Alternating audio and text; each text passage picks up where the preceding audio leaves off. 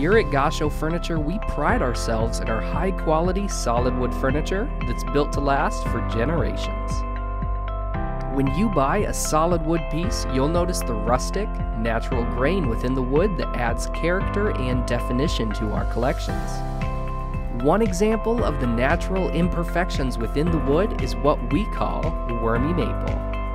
Also known as ambrosia, wormy maple is characterized by its small holes and defined grain. The best part is, this does not compromise the strength and durability of our product. Gascho Furniture.